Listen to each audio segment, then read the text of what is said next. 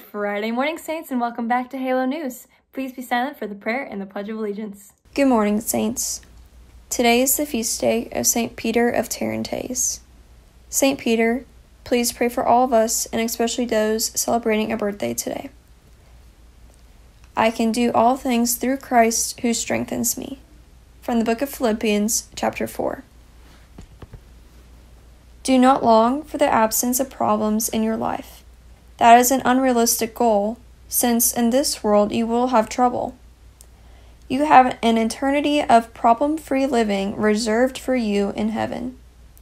Rejoice in that inheritance, which no one can take away from you. Remember that I am on your side, and I have overcome the world. Let us pray.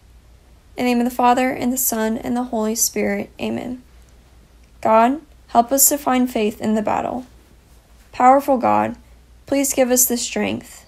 Give us the courage to do what we need to do. Be with us. Strengthen us and bless us today. In Jesus' name we pray. Amen.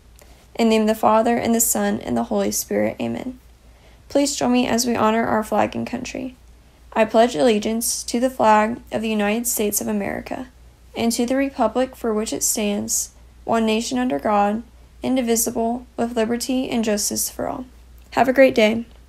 Thank you, Brianna, and congratulations on completing your time here at STA. There were no Saints' birthdays yesterday, so happy birthday today to Lily Hyman. Today is National School Lunch Hero Day. Pray for and search for ways to help all the food workers who have been affected by the shelter in place orders, especially our own Saints Cafe crew.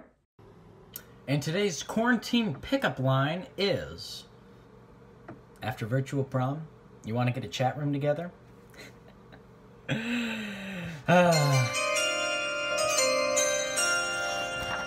you know what that noise means. It is now time for the teacher of the day.